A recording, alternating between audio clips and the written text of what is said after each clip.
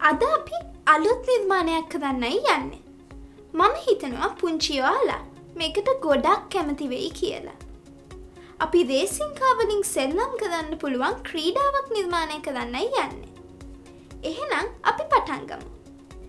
මුලින්ම start project button එක click කරන්න. සයිට එක ඕපන් වෙනකොට how it works කියන බටන එක කලික් කරන්න.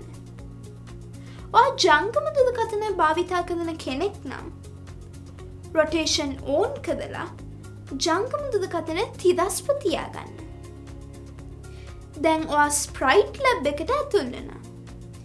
දැන් රීමික්ස් කියන බටන එක කලික් කරන්න. දැන් රීනේම් බටන එක කලික් කරන්න. මෙතනින් වාට වාකදන ප්‍රොජෙක්් එකේ නම වෙනස් කදලා ප්‍රොජෙක්් 16 විදිහට නම ලබා දෙන්න පුළුවන්. දැන් මෙතන තියෙන සේව් බටන එක කලික් කරන්න. දැන්වා ප්‍රොජෙක්් එක පටන් ගන්න ලෑස්තිී.